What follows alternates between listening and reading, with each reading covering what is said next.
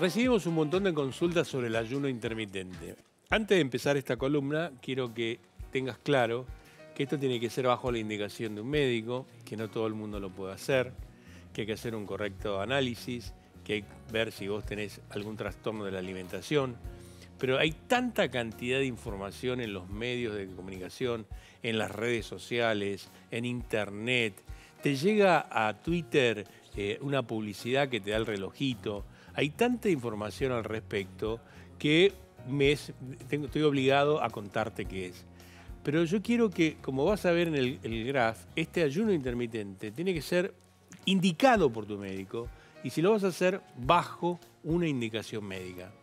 El concepto es realmente interesante. Mi padre era nutricionista, médico nutricionista, así que yo el tema de la nutrición lo tengo en la cabeza desde que tengo, desde que nací. Y las cosas fueron cambiando, desde la regla de escudero hasta el día de hoy, hasta muchas cosas que han pasado. Pero el grave problema es el intrusismo que hay con la alimentación, que significa que cualquiera habla de alimentación. Nosotros en la familia tenemos a Juaco, que es médico nutricionista, pero cualquiera habla, cualquiera habla y dice cualquier cosa. ¿Cuál es la base del ayuno intermitente? Ahí la tenés en una placa que te la pongo atrás. La base es que en la antigüedad se practicó por razones espirituales y religiosas el, el hombre primitivo hacía ayuno obligatorio. No es que comía todos los días, comía cuando podía. ¿Me entendés? Igual que cuando dormía, dormía por etapas, pero comía y dormía. Entonces el organismo se fue adaptando en ese momento. Se calcula que la humanidad tiene 80.000 generaciones. Cambiamos en las últimas 300 la alimentación, pero no cambió el código genético. O sea que pasamos de comer de una manera a otra manera y esto, esto, el tema del desayuno, almuerzo, merienda y cena es de las últimas generaciones. El tema de incorporar todas las comidas de las últimas. Antes no pasaba esto. Entonces, esa persona primitiva o algo religioso, hoy mismo, cuando se hace ayuno eh, en ciertas religiones los viernes o, o, cuando se hace, no se come ciertos alimentos, todo eso existe y pasa eso. Entonces, ¿qué es el ayuno intermitente?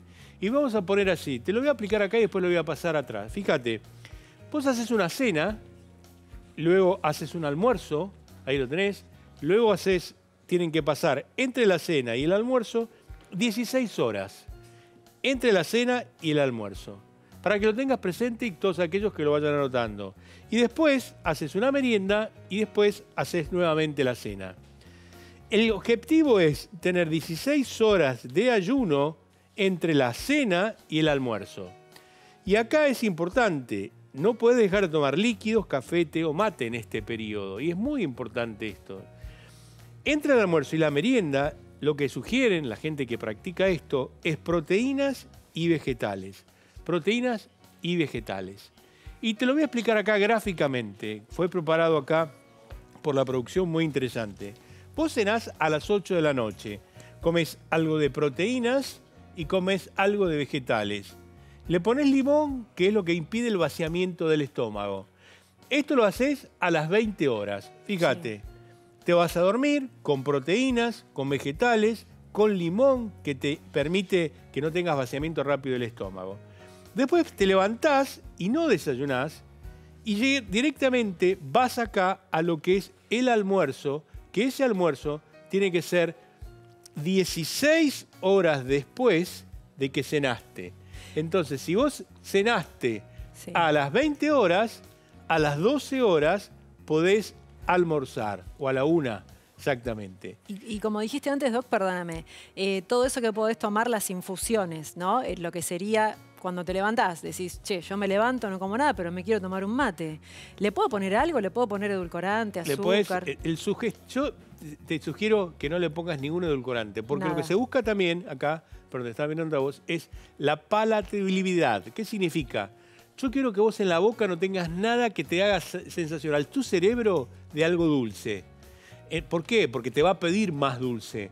Entonces, si vos te pones edulcorante, le dice al cerebro, qué rico que es, quiero más dulce. Lo explico poco académicamente para que se entienda. Le dice, che, quiero algo más dulce y te vuelve a pedir más dulce.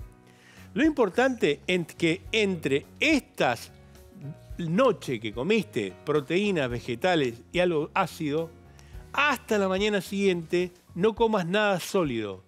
Pero sí tenés que tomar, como decía la placa, té, café, mucho líquido. Acordate, cuando te levantás, tenés que hacer hidratación, porque estuviste 8 horas sin tomar nada. Agua principalmente, podés tomar té, podés tomar café, podés tomar mate. Y como le comentaba Advero, sin edulcorante, sin azúcar, para que en la lengua no tengas ni nada que te haga recordar a tu cerebro lo dulce que te da más hambre. ¿Qué almorzás? Otra vez proteínas y vegetales.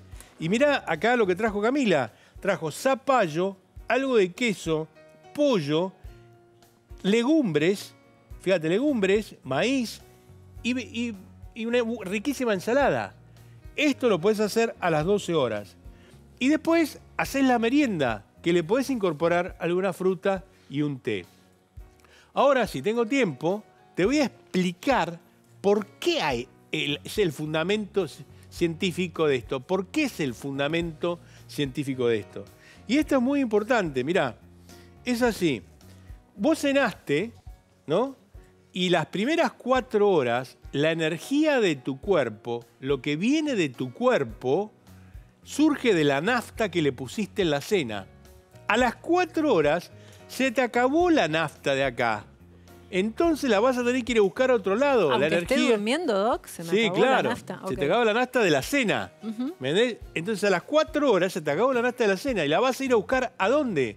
Al músculo y al hígado que la tenés almacenada. Cuando pasan esas ocho horas, ¿dónde la vas a buscar la energía? A la grasa. Y empezás a quemar grasa. Como dice mi amigo Esteban Larronde, te transformás, te pasás a grasa. Como el auto pasa de nafta a gas, te pasás a grasa. Y es eso lo que pasa. Primeras cuatro, fíjate ahí pongo la placa. Primeras cuatro horas energía de la cena, segundas cuatro horas energía del músculo y del hígado, y después te pasás a la grasa. Y mira esto, qué interesante esto. Acá, fuente de energía es la cena que está acá, que es este gráfico que está acá. Después a las cuatro horas te pasás al músculo. Después te pasás al tejido adiposo. Y el tejido adiposo le dice al cerebro, che, larga ácidos grasos y empezás a tener menos hambre tenés a partir de las 11 de la mañana de acá, tenés menos apetito porque tus cuerpos cetónicos van al cerebro y le dicen que tenés menos hambre. Y cierro con esto. En un momento entre las 10 de la mañana y las 12 del mediodía, empezás a liberar hormona de crecimiento. Y empieza a producirse un proceso en tu organismo, es que las células que están gastadas se destruyen. Pon esta gráfica, Renato, este hombre, que es un premio Nobel, que se llama Yusimori Osum, describió la autofagia, cómo las células se reciclan en lo que es el ayuno intermitente. Esto es ayuno intermitente. Lo vamos a grabar, lo voy a dejar puesto en el canal 9, pero lo importante de esto es que, ¿cuál sería el beneficio de esto? Los trabajos muestran que hay reducción de peso, la gente baja de peso realmente, tiene disminuye la insulinoresistencia, mejora el colesterol, disminuye la presión arterial, mejoran los triglicéridos y mejora la sensibilidad a la insulina. Pero siempre lo tenés que hacer con un médico, no con una revista, ni tampoco con una aplicación que te llega al celular. Yo te digo una cosa, Doc, perdóname pienso en las ocho horas que hay que hacer de ayuno a veces para hacerte un análisis. Viste que te dicen 12 horas de ayuno y estás que no aguantás más. Decís, ¿cuándo se termina esto? ¿Por qué no inventan otra cosa? Y vos me decís todo esto, qué buenísimo. Y digo, ¿cómo puede ser? Si lo pensás por ahí, este, no sé. Mira, resulta medio eh, difícil. Si lo haces, seguramente es como vos Yo que hago con mis pacientes, Maroto, dame un segundo, lo que hago es vos venís a ver a mí, yo te pido un análisis de sangre. Te pregunto cómo estás. Veo si tenés algún trastorno de la alimentación Veo cómo te llevas con la comida. Si tu glucemia es normal, si tu azúcar es normal y tenés muchos kilos de peso, yo te digo, bueno, yo te ayudo, pero siempre bajo mi supervisión. Y te digo, bueno, vos comés a las 20 horas, pero tal vez no lográs hacer 16 horas. Entonces, en vez de 16, bueno, primero hacemos 13, después 14, ah, vas prolongando paulatinamente. Pero previo al interrogatorio, al, al, hasta charlar conmigo, luego hablar con tu médico cabecera, Luego esto, porque esto no es para todo el mundo y siempre hay que ver psicológicamente cómo estás. En la alimentación tiene un fuerte impacto todo lo que es psicológico. A mí es una herramienta, pero no es la alimentación que más me gusta. Los pacientes que la han hecho bajan de peso y les va muy bien, pero siempre tiene que tener un control. Si no lográs las primeras 16 horas, bueno, empezá con 12, 13, 14, 15, 16, hasta llegar a 16. Hay ayunos de 24 horas. Esto es lo que se practica actualmente, pero soy muy concreto, muy concreto. Siempre debe hacerse con un médico, como puse ahí atrás, o con un nutricionista. Yo prefiero médico nutricionista porque la nutrición es mucho más integral, por eso incluye un médico.